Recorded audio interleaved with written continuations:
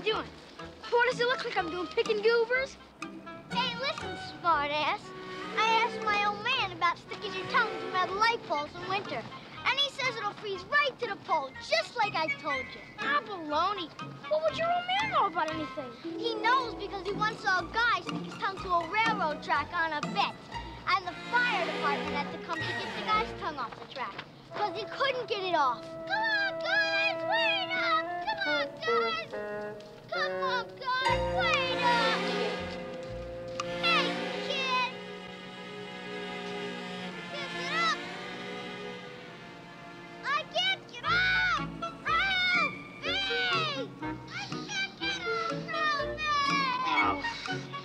Flick, wait up for me.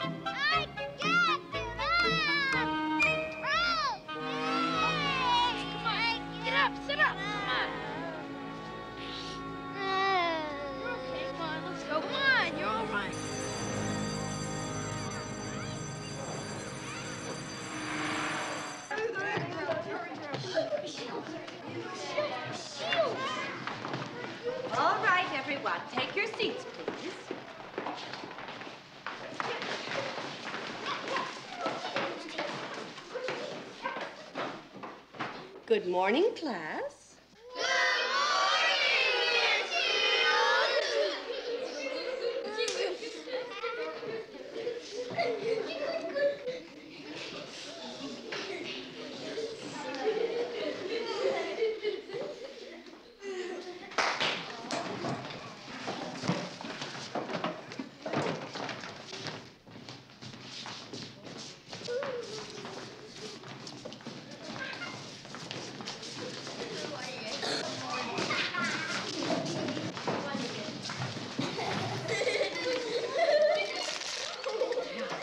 Open your books to page 32. As you'll remember, Silas Marner.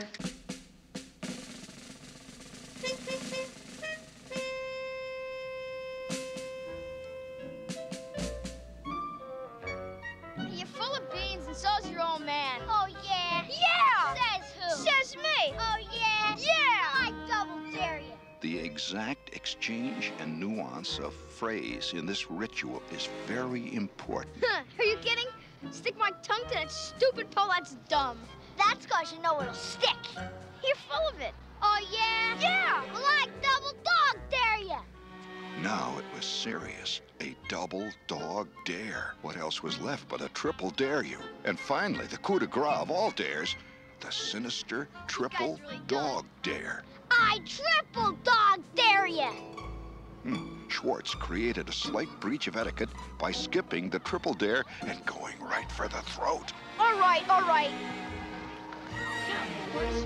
Come on, Karen.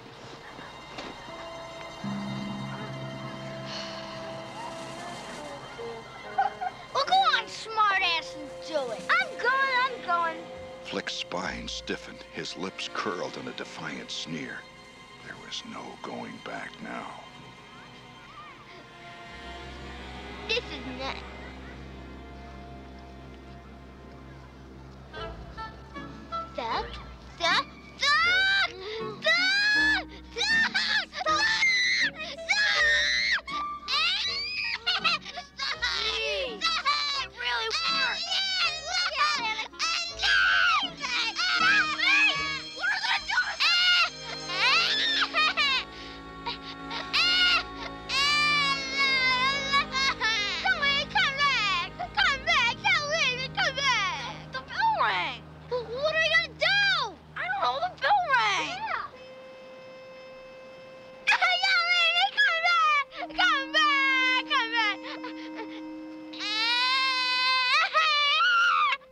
Where's Flick?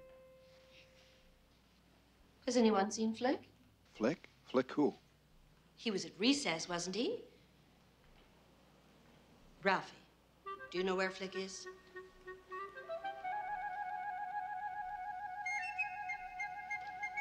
I said, has anyone seen Flick? Yes, Esther Jane.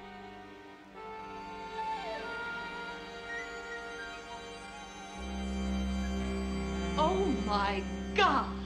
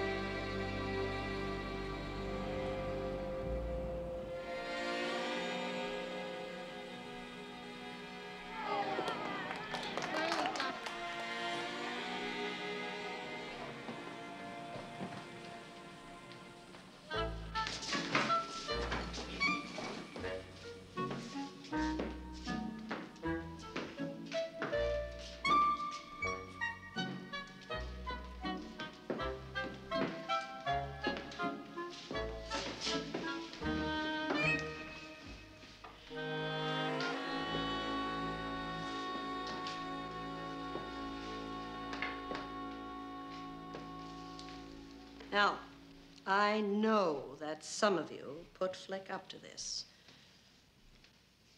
But he has refused to say who. But those who did it know their blame. And I'm sure that the guilt you feel is far worse than any punishment you might receive. Now, don't you feel terrible? Don't you feel remorse for what you have done? Well, that's all I'm going to say about poor Flick.